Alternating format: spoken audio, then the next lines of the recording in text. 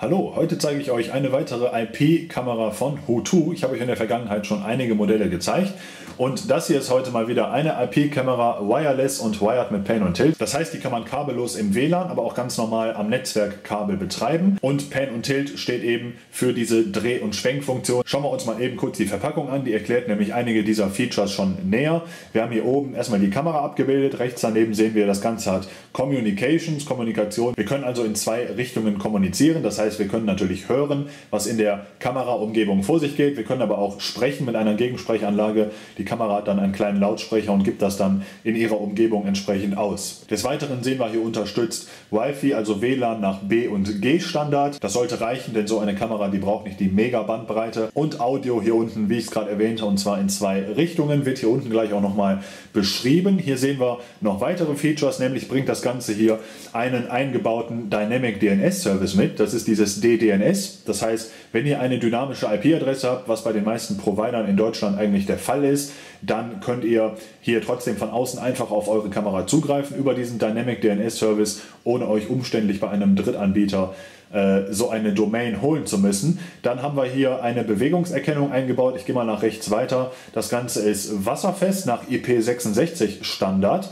also regensicher und auch ja, allgemein wetterfest.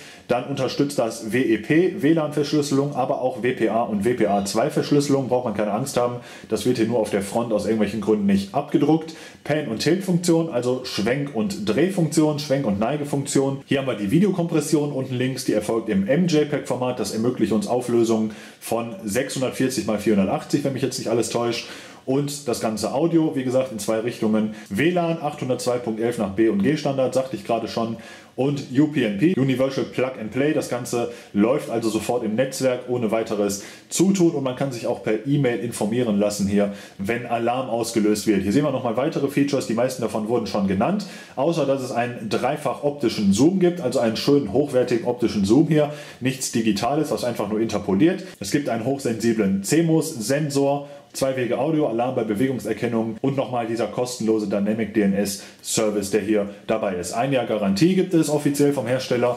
Was haben wir hier nochmal? Die Features im Detail. Hier sehen wir jetzt auch nochmal die Auflösung. Genau 640 x 480 nach VGA Standard, wie ich das gerade schon sagte, mit 30 Bildern pro Sekunde. Und ja, hier sehen wir noch weitere Details. Ihr könnt euch das ja eben anhalten hier in deutscher Sprache, wenn ihr euch das durchlesen möchtet. Ich lese das jetzt nicht alles vor, das würde ein bisschen den Rahmen sprengen.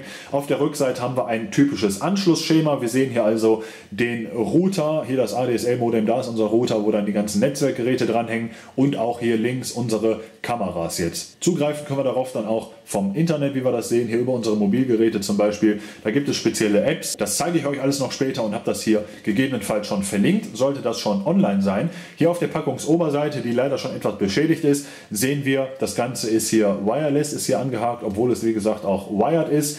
Eine Antenne ist natürlich dabei, die ist hier nicht angehakt, komischerweise alles ein bisschen durcheinander. Und wir sehen, es gibt noch einen Stromadapter, hoffentlich einen deutschen, hier ist der britische, glaube ich, abgebildet, ein CD-Treiber und ein Netzwerkkabel, eine Halterung sogar, eine Wandhalterung und eine Bedienungsanleitung. Mehr gibt es zur Verpackung nicht zu sagen, deshalb machen wir das jetzt mal endlich auf. Ein ziemlich großer Karton, ich muss auch hier wie üblich aufpassen mit meinem Stativ, dass ich das nicht umhaue.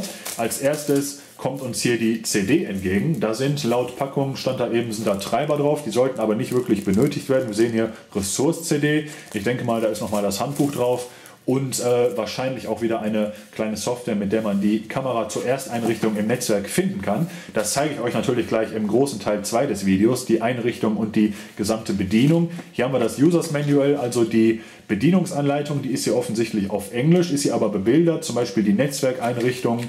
Und was haben wir hier? Die verschiedenen, ja, die ganzen Einstellungen, die man hier tätigen kann. Ja, das ist bebildert hier ganz schön gemacht. In schwarz-weiß, aber komplett auf Englisch. Keine anderen Sprachen dabei hier, auch kein Deutsch. Hier sehen wir die ganzen Einstellungen im Detail zur Bewegungserkennung hier. Und äh, zeige ich das nochmal eben hier.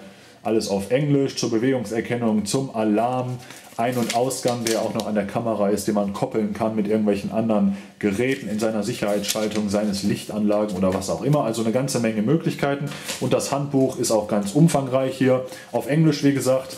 Aber gibt es gegebenenfalls noch ein deutsches auf der CD? Das weiß ich jetzt gerade nicht. Was haben wir hier? Sicherheit und Gewährleistung, ein kleiner Zettel und Informationen zur Entsorgung. Dann schauen wir jetzt mal, wie das hier weitergeht. Das hier ist eine schöne große, eine sehr lange WLAN-Antenne, wie wir sehen können, zum Anschrauben an diese Kamera. Ich hole die mal gerade hier schon mal raus. So sieht sie aus. Abwinkelbar, wirklich sehr, sehr lang. Also ich schätze mal hier mindestens 20 cm.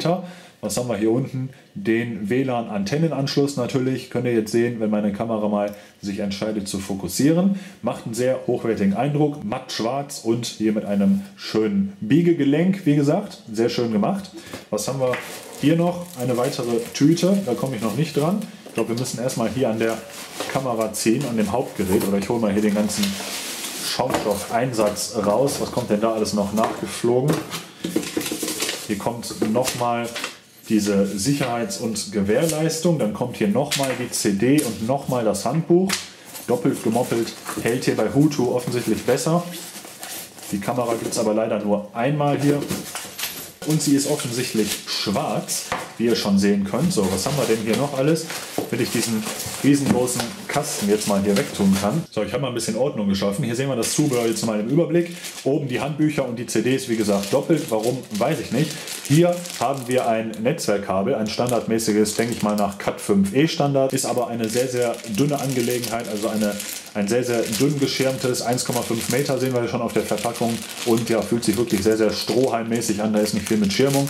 Sollte man vielleicht für den Dauereinsatz, gerade für draußen, wenn es hier um eine Outdoor-Cam geht, was Hochwertigeres verwenden. Hier haben wir eine weitere offene Tüte und zwar ist das hier das Netzteil natürlich. Ein ziemlicher Brocken, naja es geht, habe schon größere gesehen. Hier sehen wir mal eben die technischen Daten, 12 Volt bei 2 Ampere. Wenn man das mal ersetzen muss, kann das ganz hilfreich sein.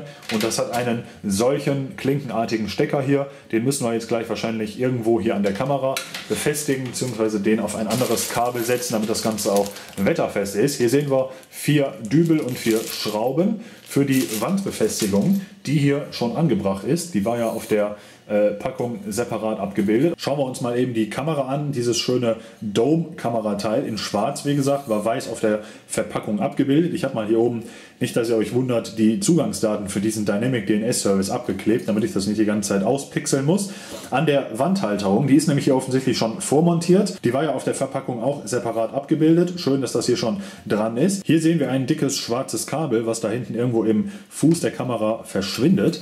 Das mündet hier unten in einem ganz ganzen äh, Gezwirbel von Steckern. Und zwar haben wir hier natürlich den Netzwerkanschluss. Das Ganze ist ja eine Netzwerkkamera. Aber wir können hier offensichtlich die Videodaten oder die Audiodaten, ich weiß gerade nicht, wofür das ist, äh, die können wir hier offensichtlich auch über ein Standard-Composite-Signal abgreifen. Hier haben wir zumindest zwei Kabel, die darauf hindeuten, nämlich das hier und das hier. Das sieht mir sehr nach Videoübertragung aus, gerade da das auch gelb ist. Dann haben wir den hier, das ist der Anschluss für das Netzteil. Das wäre dieser Stecker hier, den ich euch gerade zeigt, habe ich ja gesagt. Den muss man hier bestimmt in irgendein anderes Kabelende stecken, genauso. Hier haben wir den Alarm Input und Output, den habe ich vorhin schon erwähnt. Damit können wir die Hutu-Kamera, ist auch sehr praktisch, in bestehende Sicherheitsschaltungen einbauen, zum Beispiel in Lichtanlagen, in Bewegungsmelder. Das heißt, wir können zum Beispiel die Kamera anfangen aufzeichnen zu lassen, wenn ein externer Bewegungsmelder Bewegung erkennt oder eine Lichtanlage angehen lassen, wenn die Kamera Bewegung erkennt. Die hat ja auch einen eigenen Bewegungsmelder oder viele andere Dinge. Die Leute, die sich mit sowas auskennen, die werden sich darüber freuen über diesen Anschluss. Und wir haben hier noch einen schönen Reset-Knopf. Das ist nichts weiter als ein Reset-Knopf. Wenn man die Einstellung der Kamera zurücksetzen möchte, könnt ihr hier sehen, wenn ihr mir nicht glaubt, Reset, der ist hier tatsächlich an so einem externen Kabel dran. Den muss man dann hier betätigen, damit das Ganze äh, damit man hier wirklich an die Kamera selber gar nicht mehr dran muss. So sieht es aus mit dem blauen Hutu-Sticker hier auf der schwarzen Oberfläche. Ist ein bisschen sinnfrei, kann man nicht wirklich sehen.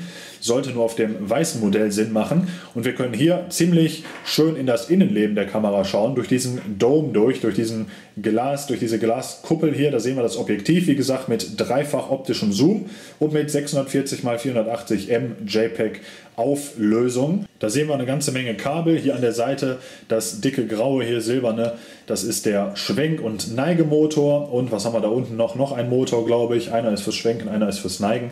Und ja, mehr kann ich dazu erstmal nicht sagen. Ich werde das jetzt mal anschließen hier und in Betrieb nehmen. Und dann gibt es in Teil 2 das ausführliche Review bzw. die Einrichtung und die komplette Führung durch die Menüs, durch die Funktionen. Das zeige ich euch alles mal, was diese Kamera bietet, was man damit so anstellen kann. Ich werde euch auch die Mobil-Apps zeigen, für Android zumindest. Bleibt dran, wenn ihr mehr wissen wollt zur Hutu Outdoor Dome Kamera.